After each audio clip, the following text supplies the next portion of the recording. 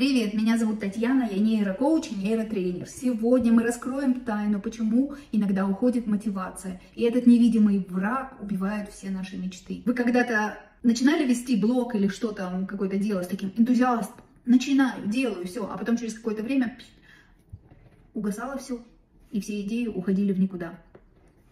Знакомая история, да? Давайте разберемся, почему это происходит. Итак, что такое дофамин? Это молекула счастья в нашем мозгу, которая делает нас радостными от каких-то удовольствий. Например, лайки или какие-то вкусняшки.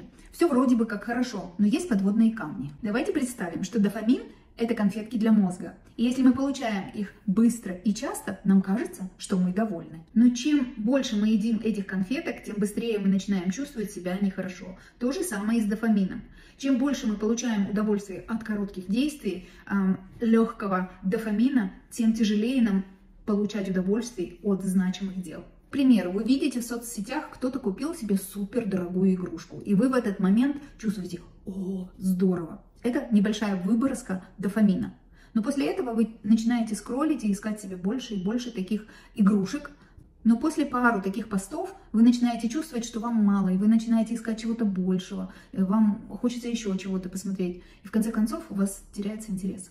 Еще один пример. Представьте себе, что вы играете в мобильную игру, и каждое завершенное действие, каждое выполненное задание – это новая выброска дофамина. Но когда игра становится скучной или вы достигли своего предела, вам э, приходится искать новую порцию дофамина. Как будто в кармане у вас есть копейки, а автоматов становится все больше и больше, и на эти автоматы нужны новые вложения.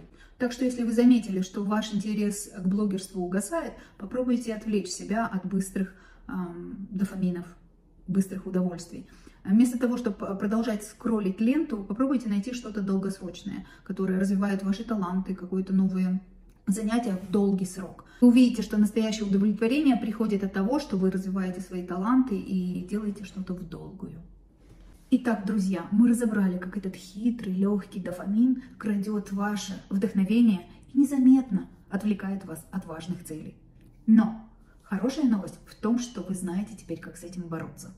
Помните, что ваш блог – это ваше пространство для творчества, для самовыражения. Но чтобы не утонуть в мелочах и отвлечениях, сосредоточьтесь на ваших целях и осознанных действиях. Если хотите больше узнать о вашем мозге, о продуктивности, подписывайтесь на этот канал, ставьте лайк и увидимся в следующих видео.